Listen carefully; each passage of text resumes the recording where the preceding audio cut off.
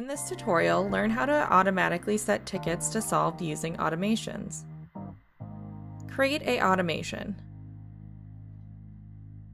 Create a new automation. For steps on creating a automation, click the link in the upper right hand corner of this video. In this example, the automation title has already been added.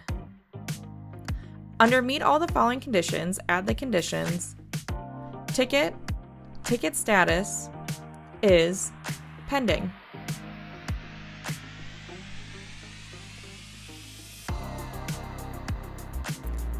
Ticket hours since update greater than 48.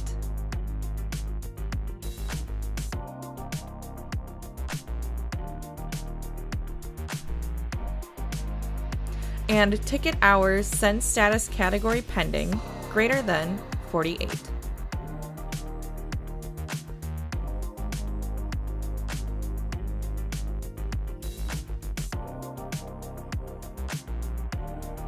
The hours since update condition starts counting from the last update in the ticket.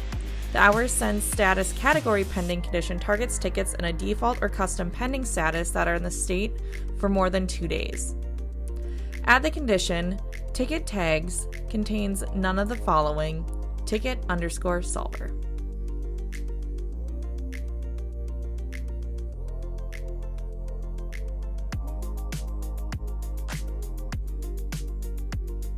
The automation should run once in a ticket. The ticket tags condition guarantees the same ticket won't be further updated by the same automation.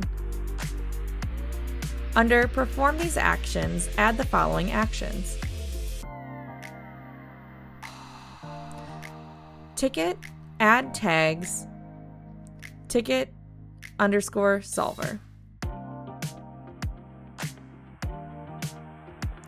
Notifications, user email, requester and CCs, and add an email subject and body. This action will notify your users of the ticket. Add the ticket, status solved,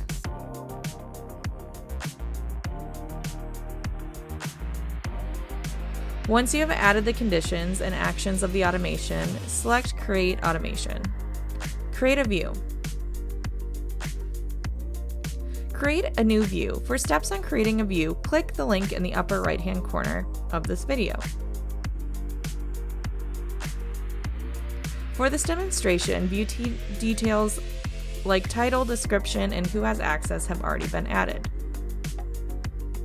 Under Tickets must meet all of these conditions to appear in the view, click Add Condition.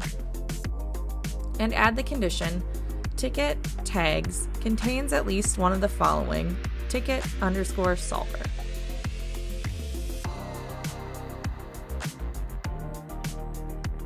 Select Add Condition again and add the condition Ticket ticket status contains none of the following new. This view will display tickets that are solved and tagged with ticket underscore solver. Click Save.